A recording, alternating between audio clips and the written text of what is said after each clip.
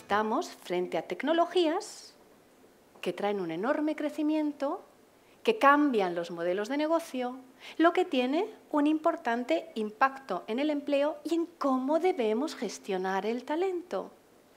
Van a revolucionar la gestión del talento. ¿Dónde está el humano? ¿Y dónde va a estar el robot? ¿Qué talento necesito? ¿Y cómo puedo sacar lo mejor de los dos juntos en una organización? Aunque antes debo decir que todo esto da vértigo. A mí también me da vértigo, porque cambia muy rápido, porque el cambio es profundo, pero es para bien es para bien. Y no es la primera vez que vivimos algo así. Ya hemos hablado de que estamos en la cuarta revolución industrial, ya lo hemos vivido. Y nos dicen las estadísticas que hoy un 10% de las tareas industriales están en manos de robots, pero pronto hablaremos de un 45%. En cuatro años podremos estar hablando de un 45% de tareas industriales en manos de robots. Y no pasa nada, porque vamos a ver que esto impacta y va a destruir el 47% de los puestos de trabajo que conocemos, dicen los más optimistas. ¿Qué dice la OCDE?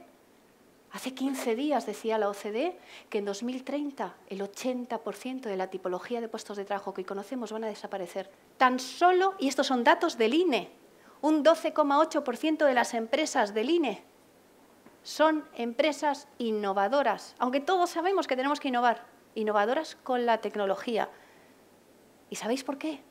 Porque cuando nos hablan de innovación y nos dicen hay que innovar más, hay que innovar más, ¿qué es lo que nos viene a la cabeza? Que hay que gastar más dinero para innovar. Y no es verdad. ¿De dónde sacamos ahora el dinero para innovar?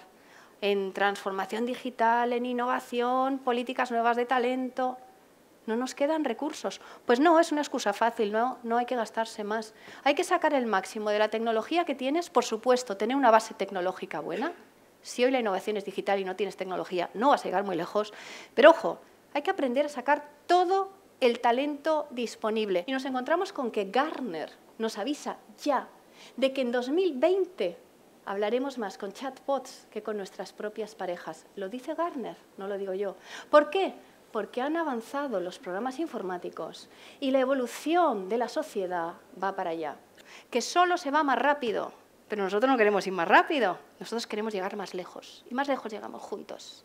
Por ello, si queréis sumaros a la transformación digital en la era del talento, en la que necesitamos personas que trabajen con robots, pero sobre todo personas que sean muy humanas y que sean capaces de innovar, tenemos que fomentar la diversidad, generar una cultura que favorezca su comportamiento humano, innovador y sobre todo que estén cómodas y que quieran estar ahí, que encuentren su sentido de misión. Necesitamos empresas que fomenten el compromiso, el compromiso de los empleados con la empresa, pero también el compromiso de la empresa con los empleados. Las empresas se tienen que comprometer.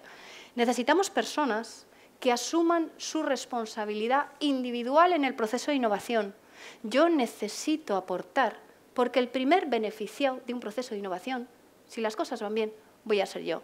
Necesitamos personas que entiendan que innovando se llega más lejos y personas que apuesten por sacar toda su humanidad, porque cuanto más humanos seamos, más difíciles de sustituir. Así de sencillo y así de simple. El tratamiento del miedo a esto, ¿no? el dar ese paso y decir, oye, no, no hay miedo, es mejor equivocarse, nadie sabe dónde vamos ni dónde pisamos, pero hay que empezar a moverse porque si no sí que sabemos dónde vamos a estar. Luego cada uno tiene que aprender a aprender, que es lo que hay que hacer, ver qué cosas te faltan para poder tomar las características, las capacidades que harán falta para los trabajos del futuro. Y hay que aprender a aprender y cambiar.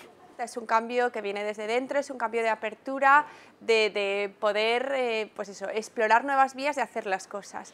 Entonces, em, bueno, es algo en lo que tenemos que profundizar, sobre todo abrir la mente y estar preparados para todo lo que pueda llegar y saber adaptarnos bien. Las empresas preguntan, vale, entonces, ¿qué tengo que hacer? ¿Qué hago? Ah, ¿Cómo le doy la vuelta a lo mío? ¿Qué significa transformarse digitalmente? Y la mayoría no, no saben ni por dónde empezar, ni qué significa, ni nada.